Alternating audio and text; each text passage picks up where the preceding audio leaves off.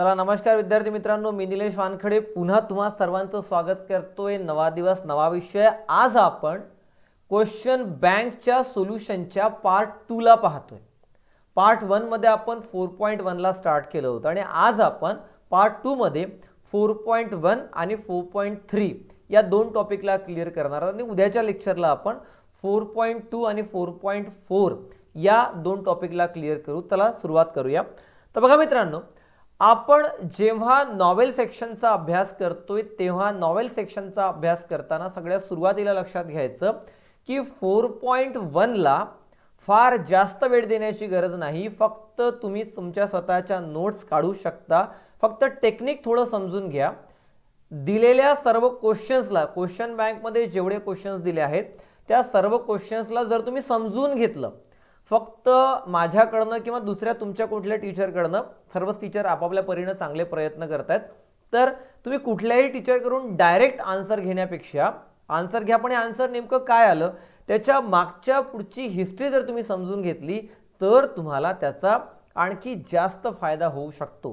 त्यामुळं या क्वेश्चनला समजून घेताना थोडं त्याच्या मागच्या पुढची हिस्ट्री त्याच्या लिंक लावत जा. म्हणजेच तुम्हाला ते आणखी सोपं जाईल. ठीक आहे.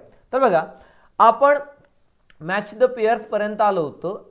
इथं आपल्याला या बाजूला काही नॉवेलिस्ट दिले आहेत आणि या बाजूला त्यांची काही या बाजूला त्यांचे लिहिण्याचे टाईप्स दिलेले आहेत की ते कुठल्या प्रकारचे नॉवेल्स लिहितात. तर बघा जेव्हा आपण अगथा क्रिस्ती यांचा विषय मांडतो किंवा जेव्हा जेव्हा आपण अगस्ता क्रिस्ती यांच्याबद्दल बोलतो तर अगथा क्रिस्ती या नेहमी क्राईम फिक्शन लिहत असतात. क्राईम फिक्शन आणि यांच्या गाजलेल्या कॅरेक्टरचं नाव काय सांगितलं होतं बेटा? मिस मापल. ठीक आहे. William James. विलियम जेम्स यांचं जेव्हा जेव्हा नाव येईल तेव्हा स्ट्रीम ऑफ कॉन्शियसनेस म्हणजेच आपण आपल्या जे आपण आपले टेस्ट सिरीजचे पेपर्स घेतले किंवा मी तुम्हाला काही नोट्स अवेलेबल करून दिल्या त्यामध्ये तुम्हाला स्ट्रीम ऑफ कॉन्शियसनेसच्या संदर्भानं दोन नावं पाहायला मिळतात. एक नाव आहे विलियम जेम्स यांचं आणि एक नाव आहे व्हर्जिनिया उल्फ यांचं ओके जेव्हा जेव्हा स्ट्रीम ऑफ कॉन्शियसनेस येईल तेव्हा तेव्हा लक्षात ठेवायचं एक नाव येईल बेटा विलियम जेम्स यांचं आणि एक नाव येईल एक नाव येईल व्हर्जिनिया उल्फ यांचं ठीक आहे चला पुढे पुढचा मुद्दा. George Eliot and Mary Shelley.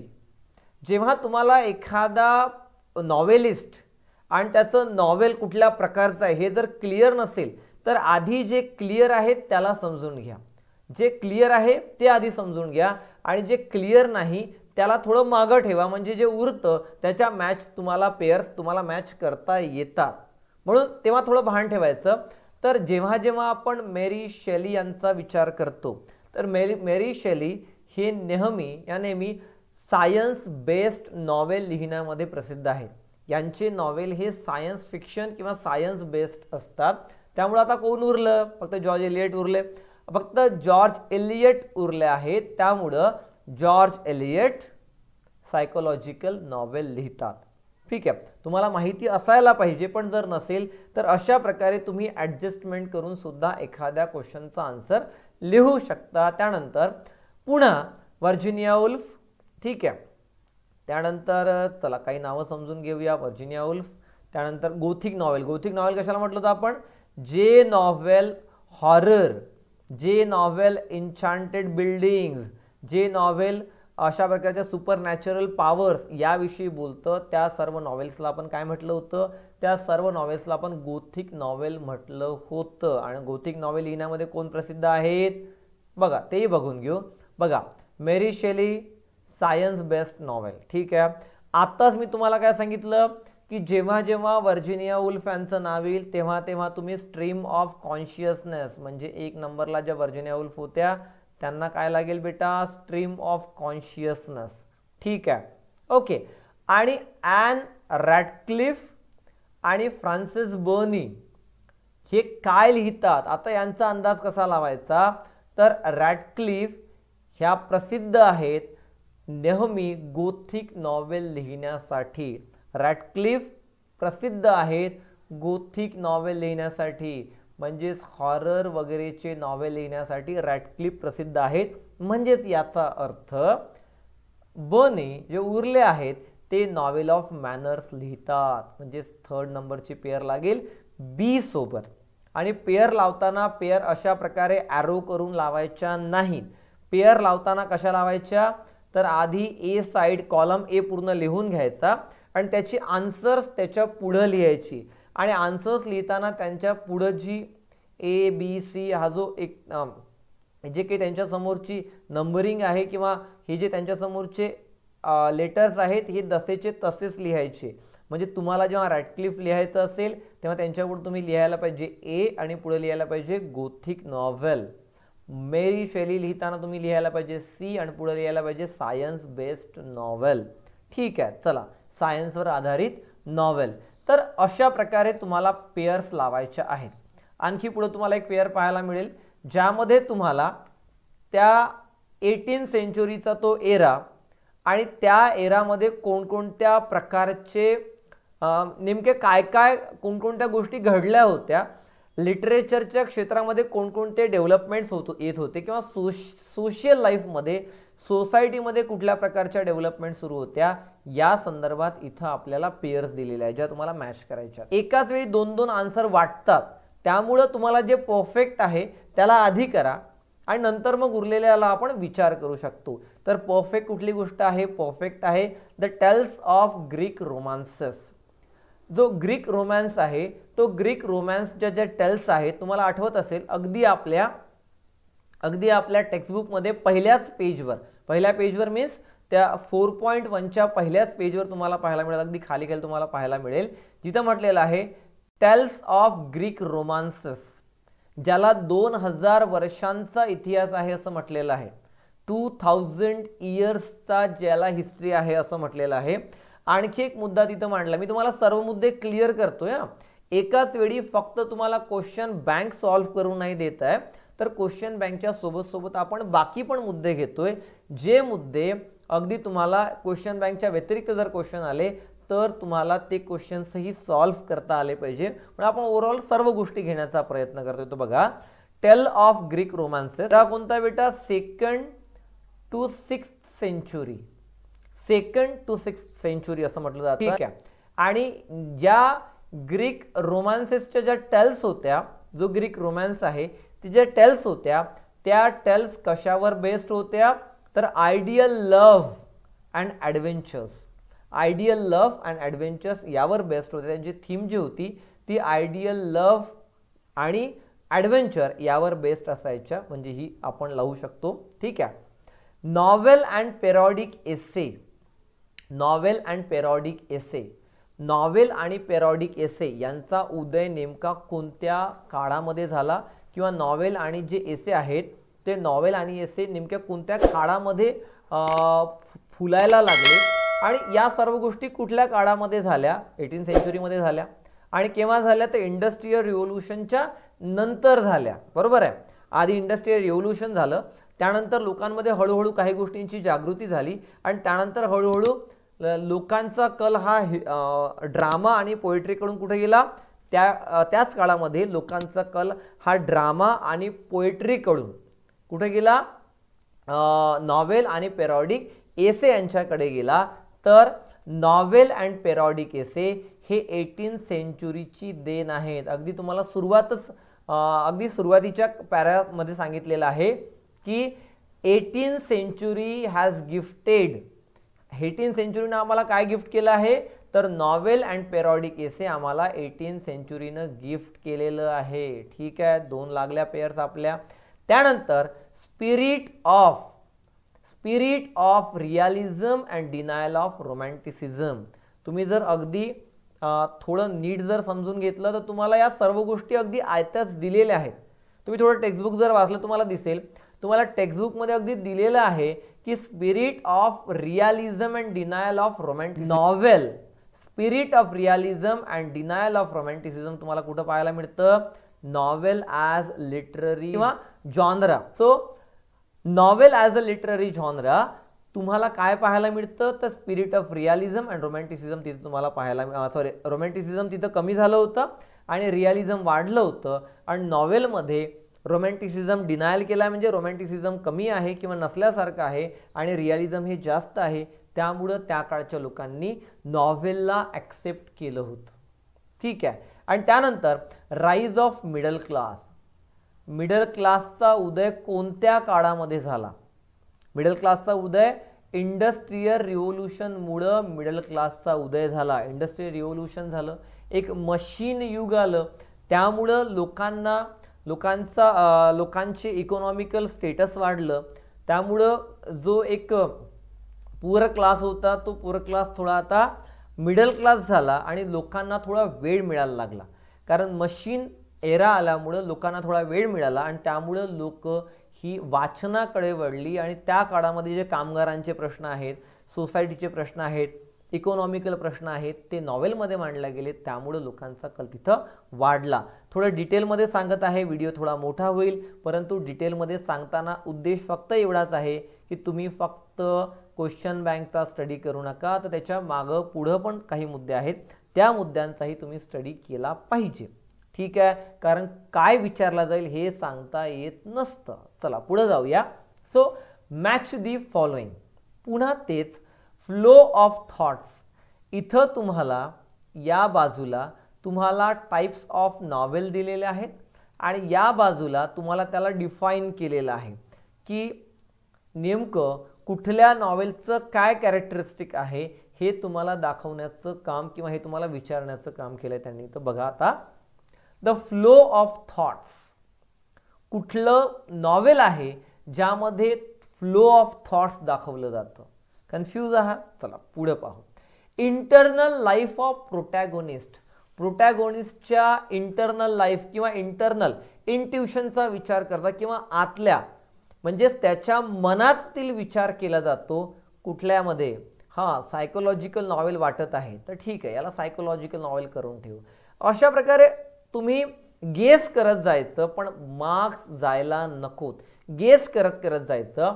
The novel based on the life of author ऑथरच्या लाईफवर बेस्ड असणारं नॉवेल कुठलं? साधी गोष्ट आहे याला ऑटोबायोग्राफिकल नॉवेल म्हणू आपण. ते it should be the autobiographical novel त्यानंतर द ग्रोथ ऑफ प्रोटॅगोनिस्ट प्रोटॅगोनिस्टची ग्रोथ पूर्ण प्रोटॅगोनिस्टची गो ग्रोथ ही कुठल्या नॉवेलमध्ये दाखवली जाते? कन्फ्यूज आहात? तर तुम्हाला माहिती असेल द फ्लो ऑफ थॉट हा कुणाशी संबंधित आहे? हा स्ट्रीम ऑफ कॉन्शियसनेसशी संबंधित आहे. स्ट्रीम ऑफ कॉन्शियसनेसशी संबंधित आहे जिथे प्रोटॅगोनिस्टच्या विचारांचा फ्लो दाखवला जातो. अगदी तुम्ही जर या सर्व डेफिनेशन्स पाहत गेले तुम्हाला डेफिनेशन्समध्ये या सर्व डेफिनेशन्स अगदी सहज पाहायला मिळतील. कुठंच बाहेर जायची गरज नाही. टेक्स्टबुकमध्येच तुम्हाला या सर्व डेफिनेशन अगदी सहज पाहायला मिळतील. ठीक आहे. त्यामुळं फ्लो ऑफ थॉट्स हा स्ट्रीम ऑफ कॉन्शियसनेसमध्ये दिसतो. आणि द ग्रोथ ऑफ प्रोटॅगोनिस्ट प्रोटॅगोनिस्टची ग्रोथ त्याच्या माइंडची स्पिरिटची आणि कॅरेक्टरची. म्हणजेच अगदी सुरुवातीपासनं तर त्यांच्या बराच बऱ्याच काळापर्यंत किंवा त्याच्या बऱ्याच वयापर्यंतची जी पूर्ण ग्रोथ आहे ती ग्रोथ दाखवण्याचं काम कुठल्या नॉवेलमध्ये होतं? So it should be a okay okay त्यानंतर डॅनियल डॅफॉय. आता या बाजूला दिले आहेत नॉवेलिस्ट आणि या बाजूला दिले आहेत त्यांचे वर्क्स त्यांनी काय काय लिखाण केलं आहे? या सर्वांची आन्सर्स ऑलरेडी मी तुम्हाला नोट्सच्या माध्यमातून प्रोव्हाइड केलेली आहेत. थोडं यावर नजर मारायची. यामध्ये या नोट्समध्ये मी तुम्हाला संपूर्ण अगदी डिटेलमध्ये बघा तुम्हाला अगदी दिसत असेल जोसेफ कॉनॅड अगता क्रिस्ती डॅनियल डिफॉय डॅनियल डिफॉय काय लिहितात? डॅनियल डिफॉय लिहितात Moll Flander. Okay. Daniel Defoe यांच्या दोन नॉवेलचा इथं आपल्याला रेफरन्स दिला आहे. दोन याचा रेफरन्स दिला आहे. बघा डॅनियल डिफॉय देताना त्यांनी आपल्याकडे रॉबिन्सन क्रुसो लिहिलं आहे की गलिवर्स ट्रॅव्हल्स लिहिलं आहे की पिलग्रिम्स प्रोग्रेस लिहिलं आहे ठीक आहे. काय लिहिलं आहे बेटा? डॅनियल डेफॉय यांनी रॉबिन्सन क्रुसो लिहिलं आहे काय लिहिलं आहे रॉबिन्सन क्रुसो. त्यानंतर जोनाथन स्विफ्ट काय लिहितात? तर ज्वेन जोनाथन स्विफ्ट यांनी जोनाथन स्विफ्ट यांनी गलिवर्स ट्रॅव्हल्स लिहिलेलं आहे. ओके सॅम्युअल रिचिडसन काय लिहितात आणि जॉन बनियन काय लिहितात? तर सॅम्युअल रिचिडसन यांनी पॅमेला लिहिलं आहे आणि जॉन बनियन यांनी पिलग्रीम्स प्रोग्रेस लिहिलं आहे. आणि या सर्वांची आन्सर्स तुम्हाला मी ऑलरेडी अवेलेबल करून दिलेली आहेत. तुम्ही जर थोडं नोट्सला जर नीट तपासून घेतलं तर बघा आपण काय म्हटलं? सॅम्युएल रिचर्डसन यांनी पॅमेला लिहिलं. ओके. सॅम्युअल रिचर्डसन यांनी पॅमेला लिहिलं. त्यानंतर आपण काय म्हटलं? जोनाथन स्विफ्ट यांनी गलिवर्स ट्रॅव्हल्स लिहिलं. ओके यांनी गलिवर्स ट्रॅव्हल्स लिहिलं. जोनाथन स्विफ्ट यांनी गलिवर्स ट्रॅव्हल्स लिहिलं. डॅनियल डेफो यांनी रॉबिन्सन क्रुसो लिहिलं. आणखी एक काय लिहिलं आहे त्यांनीच लिहिलं आहे. डॅनियल डेफो यांनी काय लिहिलं आहे मॉल फ्लँडर्स लिहिलं आहे. तर या सर्व गोष्टी तुम्हाला मी ऑलरेडी अवेलेबल करून दिलेल्या आहेत. ठीक आहे चला पुढं जाऊया. त्यानंतर त्यानंतरचा मुद्दा बेटा की नॉवेलचे टाईप्स नॉवेलचे टाईप्स आणि त्यामध्ये कोणकोणती कॅरेक्टरिस्टिक्स आहेत किंवा कोणकोणत्या गोष्टी त्याच्यामध्ये इन्क्लूड केल्या आहेत तेही पहा. तर picaresque novel historical novel allegorical novel आणि इटोपियन नॉवेल यामध्ये पिकरेक्स नॉवेलमध्ये जर तुम्हाला कन्फ्युजन वाटत असेल तर सोडून द्या. आधी बाकीच्या पेयर्स लावा. हिस्टॉरिकल नॉवेल अत्यंत सोपं आहे जे अगदी set in and earlier period than of writing म्हणजे आपण इथं डी घेऊया. ओके. ॲलेगोरिकल नॉवेल काय असतो? ज्यामध्ये तुम्हाला प्रत्येक वेळी तुम्ही जितक्या वेळा वाचाल जेवढ्या वेळा वाचाल प्रत्येक वेळी तुम्हाला एक new layer of meaning create होते. म्हणजेच इथं bears more than one layers of meaning allegorical novel म्हणजे एकापेक्षा जास्त मिनिंग कन्वे होतात. ए युटोपियन नॉवेल काय असतं? जिथं एक आयडियल स्पेक्युलेटिव्ह फॅक्शन दिलं असतं. त्याला आपण काय म्हणतो? त्याला स्पेक्युलेटिव्ह फिक्शन दिलं असतं.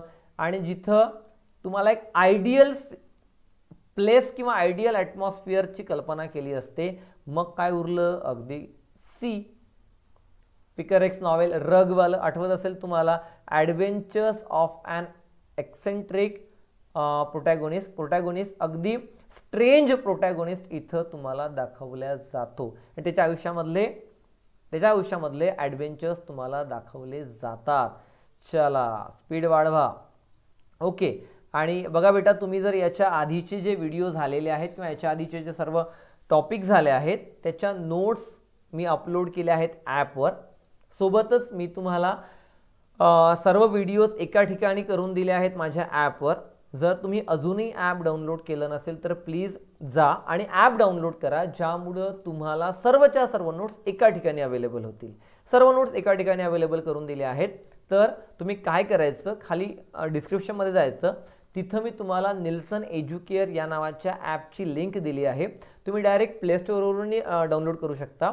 आणि तुम्ही लिंकवरूनही डाउनलोड करू शकता. तुम्ही आधी जॉईन करायचं. सगळ्यात पहिले तुम्ही ॲप इन्स्टॉल करून घ्या. ॲप इन्स्टॉल केल्यावर तुम्हाला खाली सगळ्यात खाली ऑप्शन असेल बॅचेसचं तर त्या बॅचेसच्या ऑप्शनला क्लिक करा. म्हणजेच तुम्हाला एक प्लसचं साईन येईल. त्या प्लसच्या साईनला क्लिक करा.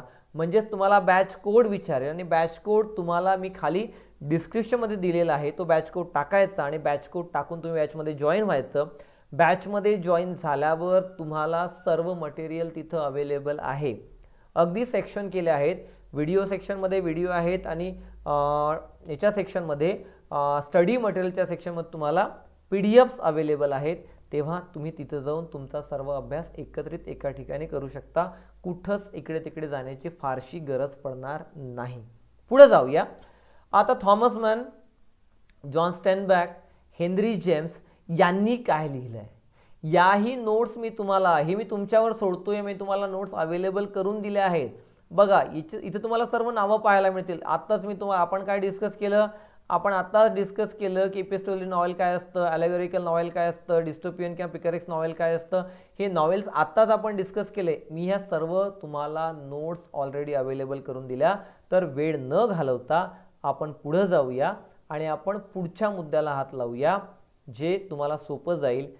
चला आता filling the blanks complete the state sentences आता इथं बघा बेटा अगदी सहज तुम्ही लिहू शकता. यामध्ये काहीही कठीण नाही अगदी तुम्हीच आन्सर देऊ शकता. ज्या मुलांनी माझी याच्या आधीचे लेक्चर्स केले असतील आणि ज्या मुलांनी माझ्या नोट्स वाचल्या असतील त्यांना काहीही फारशी गरज पडणार नाही. आणि मी तर तुम्हाला रेकमेंड करेल की तुम्ही तुमच्या नोट्स बनवा. तुमच्यापैकी अनेक विद्यार्थी आहेत जे स्वतःच्या नोट्स बनवत आहेत.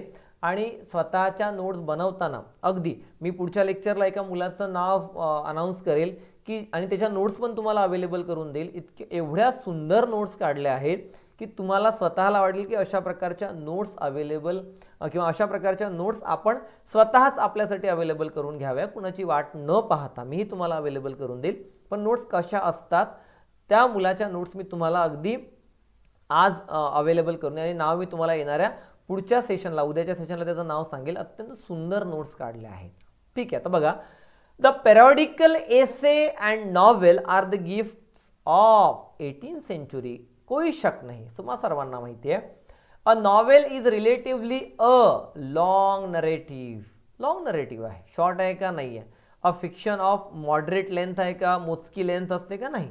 It's a long narrative fiction industrial रिव्होल्युशनमुळं काय झालं बेटा? Middle class middle class create झाला आहे. इंडस्ट्रियल रिव्होल्युशनमुळं मिडल क्लास क्रिएट झाला आहे. Appearance of newspaper in eighteen century attracted large number of readers from middle class poor class आला का? पुअर क्लास पण नाही आला आणि रिच क्लास पण नाही आला. कारण रिच क्लास कुणा कोणत्या गोष्टीकडे होता? रिच क्लासचा इंटरेस्ट कुठल्या गोष्टीकडे होता? रिच क्लासचा इंटरेस्ट ड्रामा आणि पोएट्रीवर होता. रिच क्लास आणि ड्रामा आणि पोएट्रीकडे अट्रॅक्ट झालेला होता. कारण ड्रामा आणि पोएट्रीमध्ये काय होतं रे? ड्रामा आणि पोएट्रीमध्ये रोमॅन्टिसिझमची भर होती. एक काल्पनिकतेची भर होती. ड्रामासुद्धा नॉवेलसुद्धा फिक्शनच असतं. परंतु त्याला एक काही ना काही रिअलिझमचा काही ना काही टच होता. त्यामुळं त्या काळामध्ये मिडल क्लास लोकांना मिडल क्लास लोकांना नॉवेलकडे जास्तीत जास्त attracted a large number of readers from middle class कशाकडे? तर नॉवेलकडे. मिडल क्लास जास्त त्यावेळी आकर्षित झाला होता. Rise of novel as a literary genre resulted in lowering the importance of म्हणजेच नॉवेलचं इम्पॉर्टन्स वाढल्यामुळं नेमकं काय झालं होतं? नॉवेलचं इम्पॉर्टन्स वाढल्यामुळं बेटा जेव्हा नॉवेलचं इम्पॉर्टन्स वाढलं तेव्हा दोन जे दोन महत्त्वाचे लिटररी जॉनर आहेत ते दोन महत्त्वाचे लिटररी जॉनर ते काय झाले होते? ते कमी कमी झाले होते. फेडिंग म्हटलेलं आहे ठीक आहे? कोणकोणते ड्रामा आणि पोएट्री हे जे लिटररी जॉनर आहेत हे हळूहळू कमी व्हायला लागले होते. त्यानंतर सलमान रशदी व्ही एस नाय नाय नायपॉल अँड काझुओ इशिगुआ इशिगुरा हे काय आहेत? तर हे इमिग्रंट ऑथर आहेत. फोर पॉईंट थ्री म्हणजेच क्वेश्चन नंबर फायचा C question number फाईव्हचा C question number five A पाहला. आता क्वेश्चन नंबर फाईव्ह सी पाहतोय आपण. याला आपल्याला थोडं डिटेलमध्ये समजून घ्यावं लागेल. आणि यामधले बरेचसे क्वेश्चन तुम्हाला ब्रेन स्ट्रॉमिंगमधले नाहीत. तुम्ही जर नीट पाहिलं असेल तर most of the questions are not from brainstorming त्यामुळं तुम्हाला क्वेश्चन्सचे आन्सर हे बुकमध्ये किंवा त्या एक्स्ट्रॅक्टमध्ये किंवा त्या जे त्यांनी आउटलाईन दिलेली आहे त्या सिनॉप्सिसमध्ये तुम्हाला मिळतील. बरेचशी आन्सर्स तुम्हाला सिनॉप्सिसमध्ये आणि टेक्स्च्युअलमध्ये आतमध्ये मिळतील. तुम्हाला बरेचशी आन्सर्स याची ब्रेन स्ट्रॉमिंगमध्ये अवेलेबल नाहीत. त्यामुळे नीट समजून घ्यायचं. ओके आणि एक महत्त्वाचा मुद्दा बरीच लोक पुन्हा पुन्हा एकच मुद्दा विचारतात बेटा क्वेश्चन चौथ्या सॉरी नॉवेल सेक्शनमध्ये तुम्हाला कुठल्याही प्रकारचा पॅरेग्राफ दिलेला नसेल. कुठल्याच प्रकारचा पॅरेग्राफ दिलेला नसेल. All the questions will be totally memory based चला पुढं जाऊया. तर explain how the author has made use of international date line and time zones in his novel how the author has used that concept हा जो एक time झोनमध्ये जो एक डेट लाईन किंवा टाईम झोनमध्ये जो एक डिफरन्स असतो तो डिफरन्स कशा प्रकारे वापरलेला आहे? नेमका टाईम झोन काय असतो? How to write that answer I am just explaining the explanation line to line explanation of this question will be available on my app मी सुद्धा अवेलेबल करेल. बाकी सुद्धा टीचर्स तुम्हाला अवेलेबल करून देतील. तुम्हाला जे योग्य वाटेल तुम्ही ते वाचायचं. There will be no restriction की तुम्ही माझंच वाचा किंवा दुसऱ्या टीचर्सचं वाचा कुणाचंही वाचा. जे तुम्हाला समजेल ते तुम्ही वाचायचं. सर्वच लोक तुम्हाला अवेलेबल करून देतील. परंतु लाईन बाय लाईन जे एक्सप्लेनेशन आहे हे तुम्हाला मी ॲपवर अवेलेबल करून देईल. आणि आज तुम्हाला सांगतो की नेमकं याचं आन्सर लिहायचं कसं आणि तुम्हाला कुठं अवेलेबल होईल. तर सगळ्यात पहिले लिहिताना what is mean by international time zone नेमका काय डिफरन्स असून ती नेमकी काय आहे ते तुम्हाला ऑलरेडी एक्स्ट्रॅक्टमध्ये एक्सप्लेन केलं आहे. ते आपण हार्डली एक किंवा दीड दोन लाईनमध्ये लिहू. आणि त्यानंतर आपण लिहू की कशा प्रकारे इंटरनॅशनल टाईम झोनमुळं टाईम लाय डेट लाईनमुळं तो ते वेजर जिंकले फिलियस फॉग वेजर जिंकला ही आपण लिहू. अशा प्रकारे तुम्हाला आन्सर लिहायचा आहे. ठीक आहे. Money was never a concern for mister Phileas Fogg Phileas Fogg यांच्यासाठी पैसा हा कधीही महत्त्वाचा नव्हता. याचा आन्सर तुम्हाला कुठं मिळेल? तर याचं आन्सर तुम्हाला अगदी सिनॉप्सिसमध्ये मिळेल. तुम्ही अगदी तुम्ही सहज सिनॉप्सिसमध्ये जायचं. सिनॉप्सिसमध्ये तुम्हाला याचं आन्सर पाहायला मिळेल. तुम्हाला इथे याचा आन्सर पाहायला मिळेल. मी ऑलरेडी तुमच्यासाठी हे वर काढून ठेवलेलं आहे. बघा एक second okay just a minute हां. बघा तुम्हाला इथे आन्सर पाहायला मिळेल की फिलियस फॉग हा जो होता हा जो होता has little to do with the money जसंच तसं लिहायचं नाही आहे पण तुम्हाला नेमकं लिहायचं काय आहे? The core part of that answer is just here you have to use all this or the core theme in that sent in that question की बघा काय म्हटलंय? की he has little to do with the money त्यांना पैशाचं फार काही जास्त देणं घेणं नाही. इन्स्टीड त्याऐवजी he wants to preserve his honour and prove his worth to men of the Reform Club त्यांना पैशाचं फार काही देणं घेणं नव्हतं. ते स्वतःची वत म्हणजे स्वतःची किंमत किंवा स्वतःच्या self इस्टीमसाठी he was just doing all those things just for the sake of self esteem not for the money ते पैशासाठी या सर्व गोष्टी करत नव्हते सेल्फ इस्टीमसाठी त्या सर्व गोष्टी करत होते कारण त्यांनी त्या पूर्णच्या पूर्ण जर्नीमध्ये he spends nearly all of his money along the way आणि जर ते पैशासाठी या सर्व गोष्टी करत असते तर त्यांनी त्यांच्या संपूर्ण प्रवासामध्ये संपूर्ण पैसा जो त्यांचा त्यांनी जवळपास त्यांचा संपूर्ण पैसा he spends near about nearly all of his money त्यांनी त्यांचा जवळपास संपूर्ण पैसा तिथं खर्च केला. मग त्यांनी असं केलं नसतं. त्यामुळं म्हटलेलं आहे की इथून तुम्हाला तो उचलायचा आहे कोरपाट आणि तिथं यूज करायचा आहे. कसा यूज करायचा आहे तुम्हाला मी सांगेल. अशा प्रकारे तुम्हाला ठिकठिकाणी क्वेश्चन्स कशा प्रकारे आन्सर करायचे आहे. जोपर्यंत तुम्हाला synopsis of the novel and synopsis of the extract कळणार नाही तोपर्यंत तुम्हाला या सर्व गोष्टी कळणार नाही. त्यामुळं प्लीज आधी ते समजून घ्या. ठीक आहे? त्यानंतर Phileas Fogg travels around okay travels Phileas Fogg travels around the world was full of adventures and surprises illustrate explain तुम्हाला त्यांचा जर्नी एक्सप्लेन करायचा आहे की Phileas Fogg's travel around the world was full of adventures and surprises त्यांच्या पूर्ण जर्नीमध्ये अनेक surprises आले. तर अगदी एक किंवा दोन लाईन या सिनॉप्सिसमधून उचलायच्या की त्यांनी कशा कशा प्रकारे वेगवेगळ्या मीन्स वापरल्या. He used various means various modes of travelling अनेक ट्रॅव्हलिंगचे मोड्स त्यांनी वापरले. कशासाठी? लवकरात लवकर पोहोचण्यासाठी. त्या अनेक रेफरन्सेस दिलेले आहेत. त्यापैकी मोजके काही रेफरन्सेस आपण वापरू. त्यानंतर एक्स्ट्रॅक्टमध्ये सुद्धा त्यांनी एक स्पेशल ट्रेन केली. ओके त्यानंतर त्यांनी कशा प्रकारे संपूर्ण ट्रॅव्हल त्यांनी केला आणि सरप्रायझेस म्हणजेच अगदी जेव्हा ते लिव्हरपूलला पोहोचले तेव्हा फिलियस फॉग यांना कशा प्रकारे डिटेक्टिव्ह फिक्स यांनी अटक केलं या सर्व गोष्टी तुम्हाला तिथं सांगायच्या आहेत. ठीक आहे. त्यानंतर explain how the time gained of full day is revealed to mister Fogg explain how the time gained of full day कशा प्रकारे त्यांचा एक पूर्ण दिवस त्यांना मिळाला होता is revealed to mister Fogg अशा प्रकारे त्यांना माहिती पडलं की त्यांना एक दिवस पूर्ण एक्स्ट्रा मिळाला होता आणि त्यांना कधी माहिती पडलं कशा प्रकारे माहीत पडलं की ते अजूनही हरलेले नाहीत. कधी माहिती पडलं?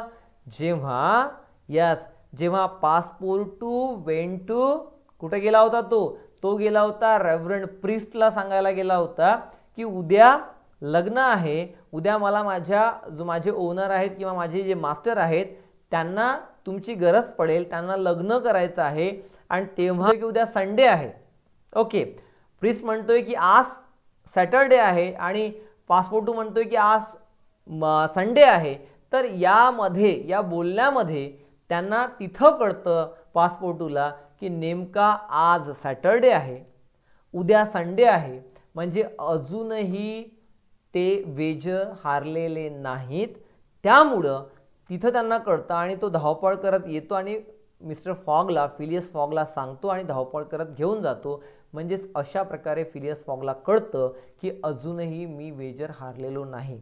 त्याला कसं रिव्हील होतं? तर अशा प्रकारे रिव्हील होतं. हे आपल्याला एक्सप्लेन करायचं आहे. त्यानंतर passport to stations himself outside the Filius Fox door Filius फॉक्सच्या दरवाजेच्या बाहेर पासपोर्ट टू स्टेशन्स होतो म्हणजे काय होतो? स्थिर उभा राहतो. तिथं तो पहरेदारी करत उभा राहतो कधी? तुम्हाला आठवत असेल Phileas Fogg accepted that Phileas Fogg accepted that he had lost the wager त्यांनी ॲक्सेप्ट केलं की ते वेजर हरलेले आहेत. He has accepted he accepted that की त्यांनी वेजर ते हरलेले आहेत.